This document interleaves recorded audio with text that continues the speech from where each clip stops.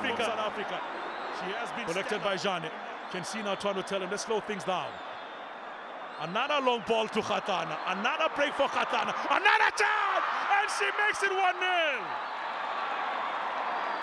She's had three chances. She messed up the first two, but she was never going to be denied for the third time in this game. Her pace, Elasto, second to none. Championship. When you go to fast forward 2011, that's when South Africa and Zimbabwe play Chelsea! It is Makore! I did say you lose it once, that's all you have to do. Things look very tight. The coach of South Africa be known as Dumpy. the Zimbabwean coach is known as Gwinji. Gwinji, yes. Here's a long ball played in towards the penalty area now. It is Chantelle Esau. Does well, long ball played in. Header!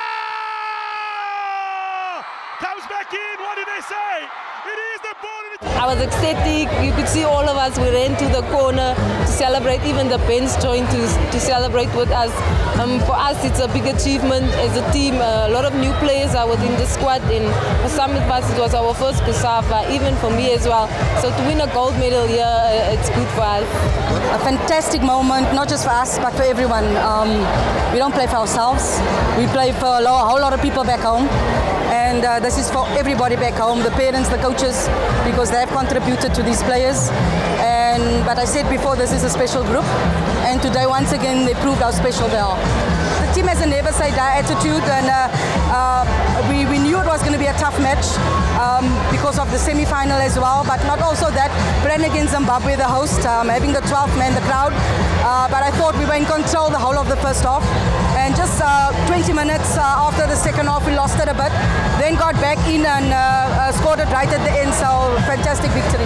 The teamwork that you've shown here in the, this tournament, looking at the fact that the semi-final, when everybody has written off, off we came back from 3-0 down to winning the penalties. And for us to come back here in a fully packed stadium to play the final against Zimbabwe, it showed that we are not intimidated by the fans. We've played in fully packed stadiums before. We've known how to turn the crowds in our favor. And even though in Zimbabwe game they equalized, we didn't look down and just give up. We had the courage and the strength to keep on going as a team.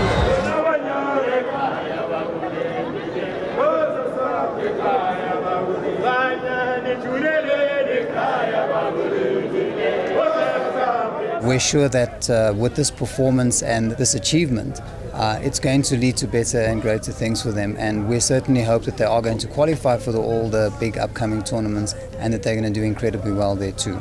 It was great to see how the team uh, played uh, at COSAFA. It shows that the girls really wanted to do well. The spirit in the team was magnificent. The players, they were all together and they only had one goal, which was to win the COSAFA. At Sasol, we believe in women empowerment, and Sasol create an opportunity for players to realize their dream of uh, playing for the country. And we say congratulations, and we are happy for them.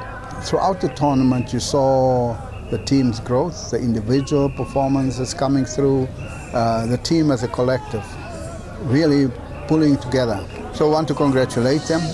Uh, we now know that we have enough players both inside the country as well as abroad to put together a formidable squad to begin to challenge for the crown on the African continent and also for a place in the World Cup. So uh, we are extremely delighted.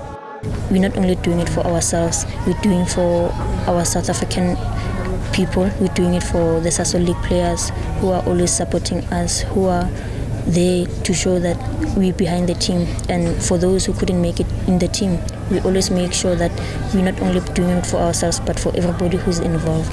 And with this going forward, we're hoping that many doors will be open, many tournaments are going to be won. So hopefully this is the beginning of more great things to come the players that uh, came uh, to the team also brought positivity. And you know with them performing there and playing their first tournament and seeing uh, the, the, the performance that uh, they, they brought out for South Africa it was uh, amazing. And you know it shows that South Africa uh, women's football has has a bright future. And I'm just excited.